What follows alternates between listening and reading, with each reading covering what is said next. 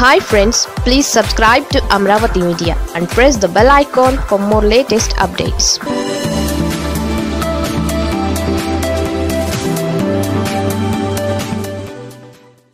కాపు రాజకీయంలో వంగవీటి రాధ దారేటు. రెండు వేల ఇరవై నాలుగు ఎన్నికలకు విశాఖ కాపునాడు కీలకం కానుందా? కాపులంతా ఏకమై తమ సామాజిక వర్గం వ్యక్తిని సీఎం కుర్చీలో కూర్చోబెట్టనున్నారా? కాపుల గర్జన వైసీపీ వైఫల్యాలను ఎండగడుతుందా? ఇంతకాలం సైలెంట్గా ఉన్న గంటా శ్రీనివాసరావు ఏం చేస్తారు? వంగవీటి రాధ రాజకీయ దారిటు టీడీపీలోనే కొనసాగుతారా? మరే పార్టీ వైపైనా వెళతారా? లేక కొత్త పార్టీని పెడతారా? విశాఖలో జరిగే కాపునాడుపైనే రాష్ట్ర రాజకీయ నేతల చూపులు ఉన్నాయి.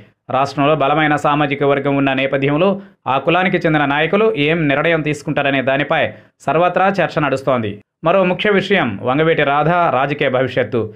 ప్రస్తుతం వంగవీటి రాధ టీడీపీలో ఉన్నారు. కానీ పెద్దగా ఎక్కడా యాక్టివ్గా తిరగడం లేదు.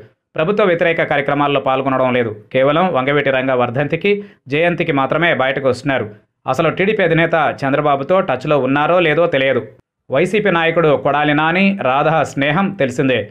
వంగవీటి రంగ వర్ధంతిని పురస్కరించుకుని విజయవాడ సమీపంలోని నున్నలో ఆయన విగ్రహాన్ని గత ఏడాది ఆవిష్కరించారు. ఈ కార్యక్రమానికి కొడాలి నాని ముఖ్య అతిథిగా హాజరయ్యారు.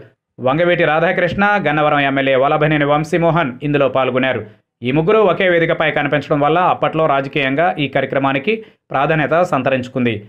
గత ఎన్నికలలో దేవినేని అవినాష్ టీడీపీ నుంచి గుడివాడలో పోటీ చేశారు. కానీ అక్కడ రాధ ప్రచారం చేయలేదు.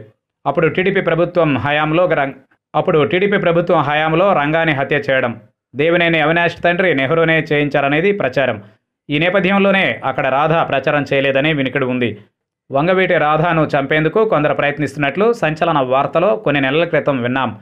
ఇందుకు రెక్కీ కూడా నిర్వహించినట్లు స్వయంగా రాధా మీడియాకు తెలిపారు. అప్పట్లో దీనిపై రాజకీయ దుమారం రేగింది. వైసీపీ టీడీపీ పోటాపోటీగా ఆరోపణలు చేసుకున్నారు.